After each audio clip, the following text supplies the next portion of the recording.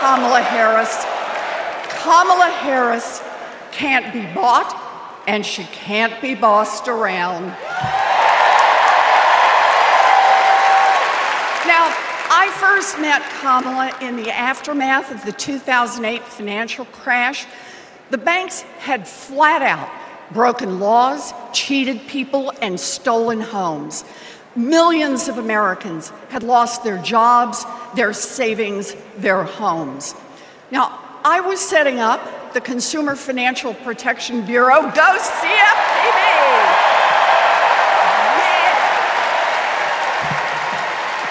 Kamala was protecting families as California's Attorney General. You bet.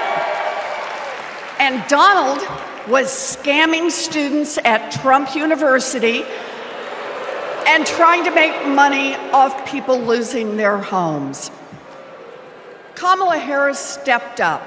She enforced the law, she fought the giant banks, and she delivered billions of dollars of help for families.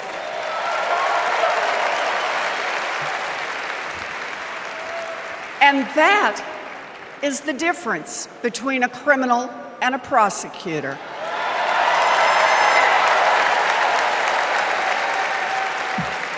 You know what else I love about Kamala? She gets it.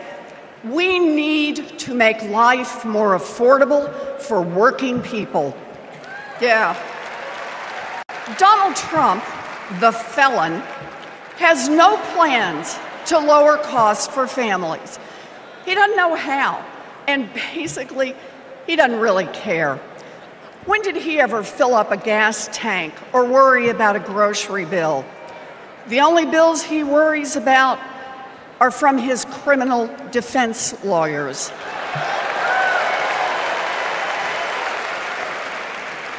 But Kamala, she cares deep down, and she will take on the giant corporations that are squeezing American families. In fact, it's something she's done before. During the California wildfires, she went after the price gougers.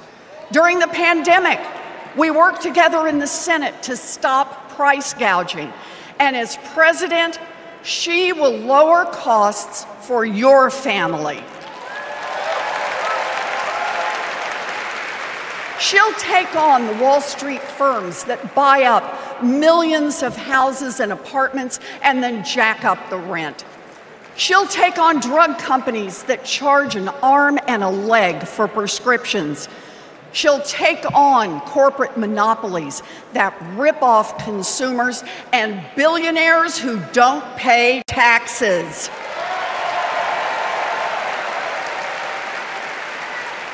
And she'll take on right wing extremists who think they should decide who has access to abortion or IVF. Kamala will protect abortion rights nationwide. Yeah.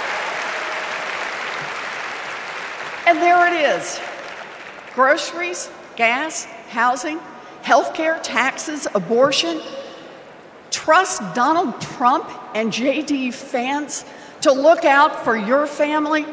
Shoot, I wouldn't let those guys, I wouldn't trust them to move my couch.